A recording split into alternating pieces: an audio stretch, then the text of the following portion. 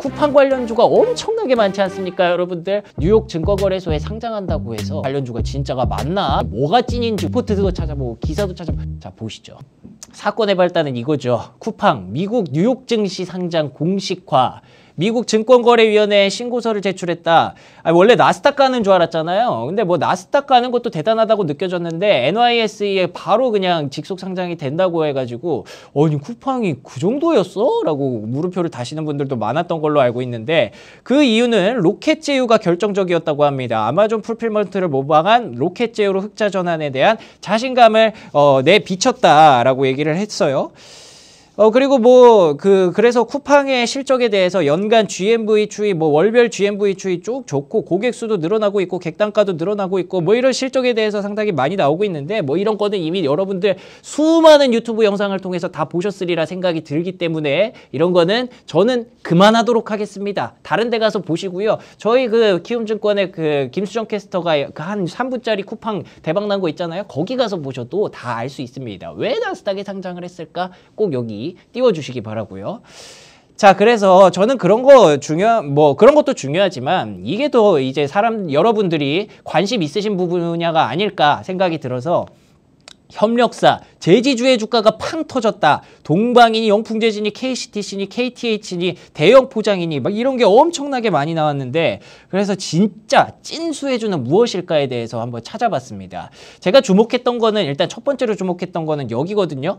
연간 GMV 추이. 그 GMV가 뭔가 하고 봤더니 전자상거래 업체들한테서 얘기하는 거더라고요. gross merchandise volume이거나 gross merchandise value 이거 두 가지를 이렇게 얘기를 하는데 결국 총 매출액이나 총 상품 판매량을 가리킨다라고 하더라고요. 그래서 보니까 쿠팡이 이거거든요. 쿠팡이 이건데 쿠팡보다 더 높은 게 있어요. 결국은 네이버가 1등이라는 거죠. 연간 GMV 추이가. 그러면 네이버도 높은 평가를 받아야 되는 게 아니냐라는 생각이 들었고 실제로 그런 그 분석 때문인지 네이버의 주가가 막 하늘 높은 줄 모르고 치솟다가 오늘 살짝 조정을 받고 있지 않습니까?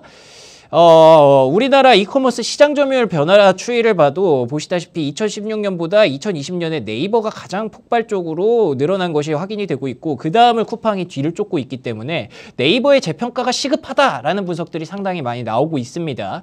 네이버 쇼핑 대 쿠팡 관련 지표를 봐도 사용자, 뭐 멤버십 규모, 거래액, 판매자 수, 물류 역량 대부분 다 일단 네이버 쇼핑이 현재 수준에서는 앞서가고 있는 상황이거든요. 그래서 이에 대한 분석을 살펴봤더니 어, 현대차증권에서 김영용 연구위원이 어, 발간한 네이버 관련 리포트입니다. 쿠팡 max 50조 상장, 쿠팡의 시가총액이 한 50조 원이 될 거라고 얘기가 나오지 않습니까? 그렇기 때문에 네이버의 60조 원 시가총액은 현재도 싸다라고 하면서 TP가 50만 원까지 보고 있는 그런 상황입니다. TP는 목표가죠, 목표가. 자, 쿠팡이 증권 신고서 제출했고 50조 원 value를 전망하는데 네이버 쇼핑 사업의 평가가 5, 6조 원에서 한 18조 원 정도 된다.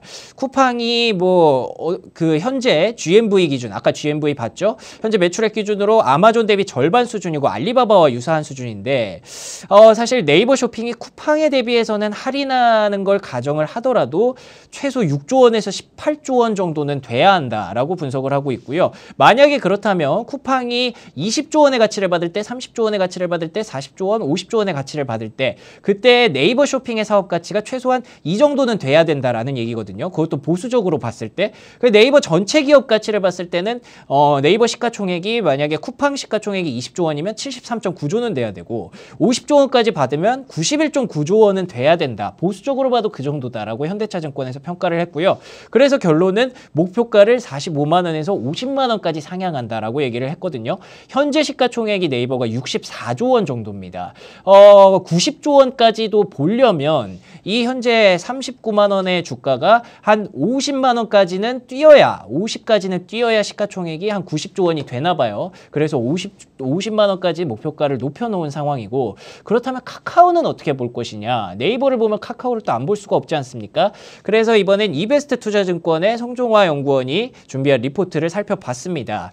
네이버와 카카오의 TP를 모두 상향한다라고 해서 카카오를 중심으로 여기서 봤는데 valuation 방식으로 거래 곱하기 멀티 multiple 방식을 봐야 된다. 어, 매출액보다는 거래액 곱하기 multiple 방식이 더 합당하다. 아까 거래액은 아까 봤죠? GMV인가요? 예, GMV를 봐야 된다라고 하고 있는 건데 네이버 commerce 부문과 카카오 commerce를 적용한 multiple은 쿠팡 대비해서 어떻게 봐야 되느냐? 자, 여기서 카카오는 호각 그리고 네이버는 열위라고 봤습니다. 쿠팡에 대비해서 카카오는 뭐 약간 비슷한데 네이버는 아직까지 조금 아쉽다. 아까 현대차증권에서도 살짝 그 할인을 적용을 했잖아요. 그게 네이버가 갖고 있는 뭐 매출액이나 뭐 가입자 수나 이런 거는 물론 지금 숫자적으로는 쿠팡보다 위지만 전체적인 성장성이나 이런 것들을 봤을 때 네이버가 살짝 열위다라는 거를 이베스트에서도 보고 있었고요. 그래서 어, 어떻게 봐야 되냐? 어, 네이버 commerce 부문과 카카오 commerce의 네이버 카카오 가치 귀속분은 13.5조 원, 7.6조 원으로 산정을 하고 그리고 어, 네이버와 카카오의 목표 주가는 현재 각각 11%, 10% 상향한다. 네이버도 11% 상향해서 51만 원, 카카오도 결국 60만 원에서 66만 원까지 10%를 상향해야 된다라고 얘기를 하고 있습니다. 어찌 됐든 카카오도 현재 그 카카오는 그 수익률이 네이버보다 상당히 높잖아요. 비교적 기본적으로 그렇기 때문에 10%를 상향한 거고 네이버는 11%를 상향한 거다 정도로 이해를 할 수가 있을 것 같습니다. 뭐 네이버 카카오 말은 많지만 사실 개인 투자자분들이 더 관심이 많은 건 이거잖아요. 동방, 뭐 KCTC 이런 거지 않습니까? 자, 동방의 주가 일단 현재 거래가 정지됐습니다. 그 정도로 급격하게 올라갔고 그 동방에 대해서 어떻게 봐야 되는지 제가 살펴봤더니 SK증권에서 쿠팡 fulfillment 서비스의 직접적인 수혜주다. 야, 이 직접적인 수혜주라는 제목이 상당히 매력적으로 들려오죠. 자, 그에 대해서 한번 살펴보니까 쿠팡에 입점한 seller들의 상품을 쿠팡 fulfillment 센터로 운송하는 물류전담 운송사로 계약을 체결한 바 있어서 fulfillment 센터의 직접적인 수혜주라고 볼 수 있다라고 하길래 fulfillment가 뭔가 하고 봤더니 아까 봤던 그 기사를 다시 보시면 됩니다. 쿠팡 뉴욕 증시 상장 로켓 제휴가 결정적이었다. 이 로켓 제휴가 아마존의 fulfillment를 모방한 그 서비스거든요. 그래서 우리가 로켓 제휴를 강화하겠다라고 하면서 흑자 전환에 대한 자신감을 보였고 결국 뉴욕 증시 상장까지 할 수 있었다라는 건데 로켓 제휴 프로세스를 보니까 수요를 예측해서 물류센터에 입고하고 매입하고 배송하고 CS 관리. 이게 뭔 차이냐면 그러니까 우리가 쿠팡을 이용하면 이 사람이 어떤 거를 관심을 갖고 쳐다보느냐에 따라서 계속 이렇게 수요를 예측해서 너 이거 살 거지? 너 이거 살 거지? 이렇게 준다 이거예요. 그거를 쿠팡이 계속 하고 할 것이다. 이걸 강화할 것이다. 이게 로켓 제휴고 그렇게 되면 미리 수요를 예측해서 미리 입고가 돼 있으니까 그만큼 더 배송이 빨라지겠죠? 너 이거 살 거라고 생각했어. 그렇기 때문에 우리 미리 입고시킬 거야. 그렇게 되려면 뭐가 되겠어요? 동방이라든지 이런 그 창고 관련주가 더 크게 쿠팡이 협력을 가져가야 되겠다. 이런 예측이 가능한 거고. 그래서 어, 그에 대해서 어, 로켓 제휴는 쿠팡의 알고리즘이 필요한 재고를 예측해 판매자에게 데이터를 제공하면 쿠팡 로켓 물류센터에 미리 입고시킨다. 이게 방금 제가 설명드렸던 그런 내용입니다. 어, 입점업체들도 fulfillment 방식을 긍정적으로 본다. 로켓 제휴로 쿠팡도 수수료를 더 챙긴다. 결국 쿠팡도 어, 이득이고 입점 업체들도 이득이기 때문에 전문가들은 로켓 제휴의 FBC, fulfillment by 쿠팡이라는 별칭까지 붙이면서 흑자 전환의 기반이 될 것이라 내다본다라고 얘기를 하고 있는 거고요. 그래서 동방으로 다시 돌아가면 결국 직접적인 수혜주라는 거고 어, 쿠팡 fulfillment 서비스의 핵심이다. 동사의 계약상 주요 업무가 쿠팡에 입점한 seller들의 상품을 쿠팡의 물류창고로 운송시키는 역할이다. 핵심이다라고까지 평가를 하고 있습니다. 향후 쿠팡과의 추가적인 계약도 기대해 볼 수 있다라고 SK SK증권에서 평가를 했고요. 어, 홈플러스와의 오랜 계약으로 다져진 신선물류 노하우가 있기 때문에 추가적인 계약을 기대한다라고 해서 이렇게 급등이 나왔다라고 보시면 되는 겁니다. 그리고 KCTC 역시 마찬가지입니다. 쿠팡과 물류 협력을 했다고 하는데 이거는 리포트가 없어가지고 기사를 가져왔어요. 쿠팡과 물류 창고 및 어, 물류 및 창고 업무를 제휴 중이다라고 해서 도대체 이 그 뭘 하고 있는 건지 궁금해서 엄청나게 제가 뒤져봤더니 이런 기사가 나오더라고요. 서초구청이 그린벨트를 훼손 엄청난 쿠팡 선촉 앰프 현장을 점검할 예정이다. 사실 쿠팡한테는 좀 안 좋은 기사기도 한데 이거는 2020년 7월 기사니까 뭐 감안하시고요. 이걸 왜 가져왔느냐? 거기 보니까 힌트가 있더라고요. 경부고속도로 양재나들목 근처에 KCTC 양재 물류센터의 쿠팡의 서초 물류 배송 캠프가 자리해 있다. 아, 쿠팡이 창고들로 동방도 활용하고 있지만 KCTC의 양재 물류센터에도 쿠팡의 서, 서초 캠프가 입점해 있구나. 아, KCTC 쪽과도 협력을 하고 있구나. 라는 사실을 알 수가 있었고 그 실적은 어떤지 한번 2018년 기준으로 보니까 Big Six 안에 들어가더라고요. KCTC, 동방, 세방, 인터지스, CJ대한통운, 한진. 그래서 KCTC에 대한 내용을 보니까 매출액과 영업이익, 당기순이익 모두 증가하며 웃음꽃이 폈다. 뭐 bulk 중량물 사업 호조, 계열사 구조 조정, 손실 규모 개선 성공의 호실적의 배경이다. 외형은 유지하되 사업 분야 다각화를 통해 안정적인 이익 확대를 추구할 것이다 라고 밝힌 2018년에 기사가 있었습니다. 어, 뭐 동방뿐만 아니라 세방, KCTC 2018년 기준으로 이렇게 세 가지 물류 창고주들이 상당히 실적 성장이 가파른 종목으로 관심을 받고 있었기 때문에 이런 종목들이 실제로 쿠팡이랑 계약도 했기 때문에 어, 더 쿠팡의 fulfillment 기대감과 함께 올라갈 수밖에 없는 그런 주가의 움직임이었다라고 보여지고요. 그럼 대형 포장 이런 건 어떻게 볼 것이냐? 골판지 관련주는 어떻게 볼 것이냐? 그에 대해서 보니까 딱히 쿠팡과 계약했다는 그런 근거는 없어요. 그냥 택배 물류 관련 산업이 부각되면서 골판지 관련주인 대형 포장 영풍재지, 신풍재지가 강세를 보인 수준이다.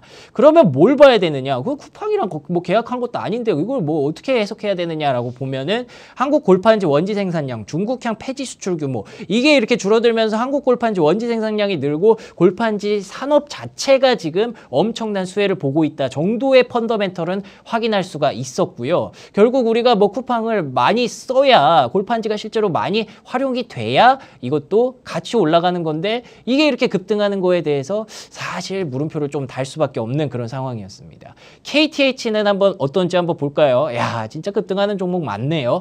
이거 보니까 이것도 겨우겨우 찾았습니다. KTH의 한국 IR 협의회에 발간한 자료에서 G마켓, 11번가 쿠팡 등과 제휴몰을 운영하고 있다. 이 T-commerce 부문. 그러니까 KT가 갖고 있는 T-commerce. 제가 알기로 아마 쇼핑몰이 있을걸요. 그 쇼핑몰이 쿠팡 쪽 쪽에 제휴몰을 운영하고 있기 때문에 쿠팡 관련 수혜주다. 결국 쿠팡 OTT가 잘 돼야 KTH도 수혜를 받을 것이다 라는 분석인데 KTH의 실적 자체는 괜찮습니다. 지난해 영업이익이 125, 120억 원, 2021년 기사기 때문에 이건 딱 진짜 지난해거든요. 전년 대비 12%. 실제로 이렇게 좋았고 결국 우리가 봐야 되는 건 이 commerce죠. 쿠팡과 연결해서 보려면 어 commerce 어 좋네요. YOY 봐도 24.9% 제일 강하게 성장하고 있는 분야네요. 어, 이거는 그러면은 진짜 실제로 쿠팡 OTT 같이 성장하면 기대해 볼 수도 있겠다라고 싶어서 어, 혹시 악재 요인은 없을까 봤더니 KTH는 오는 4월에 있을 방심위에 K쇼핑 재승인 심사에서 안수, 안심할 수만은 없는 그런 상황이라고 합니다. 유효기간이 4월 18일로 만료가 되기 때문에 주의 5건 경고의 한 건으로 감점 7점을 받을 예정인데 어, 공정한 임점 제도를 운영한다는 점이 높게 평가됐지만 그 비중이 지금 그 중소기업 제품 비중이 떨어져서 이런 것들이 혹시라도 K쇼핑에 안 좋은 영향을 미치지 않을까 뭐 이런 걱정도 하고 있어서 이 정도는 투자하시는 분들이 감안하셔야 된다 어, 라고 그냥 말씀만 드리는 겁니다. 그리고 다날 오늘 갑자기 상한가 들어갔죠. 사실 이건 갑자기가 아닙니다. 이미 리포트가 있었거든요. 2020년 2월 16일 기준으로 리포트가 나왔기 때문에 오늘 이렇게 급등을 했는 건데 쿠팡 내 휴대폰 PG 점유율 1위 기업이라고 합니다. 이거 실제로 우리가 쿠팡을 많이 쓰면 많이 쓸수록 휴대폰 결제를 많이 하면 많이 할수록 다날이 수혜를 받을 수 있는 그런 종목이라고 보는 건데요. 다날이 쿠팡 내 휴대폰 PG 점유율 1위 기업이기 때문에 결제 수혜주로 부각될 것이다 라고 얘기를 하고 있습니다. 실제로 뭐 실적, 언택트 소비 증가 때문에 다날이 많이 관심을 받았었고요. 가파른 결제액 증가세를 기록하고 있다 확인할 수가 있는데요.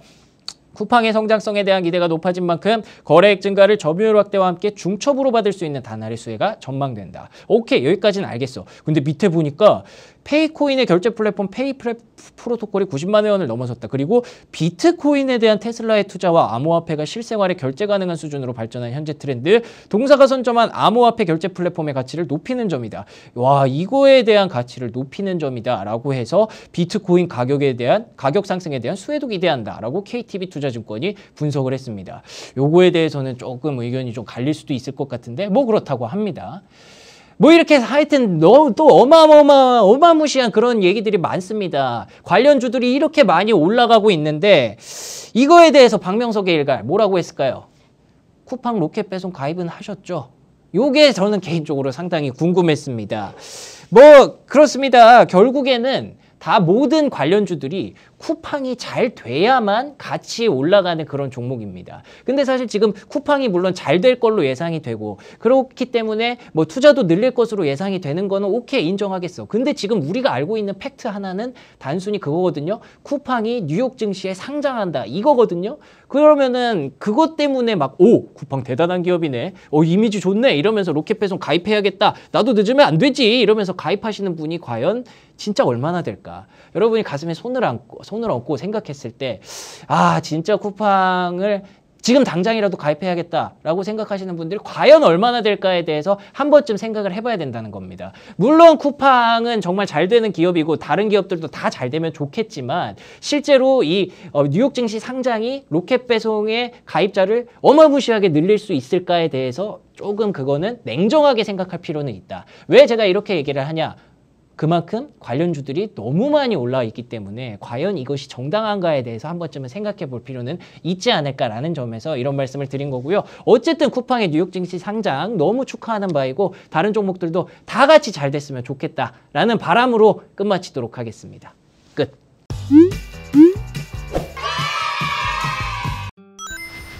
미국 주식 투자도 역시 키움증권.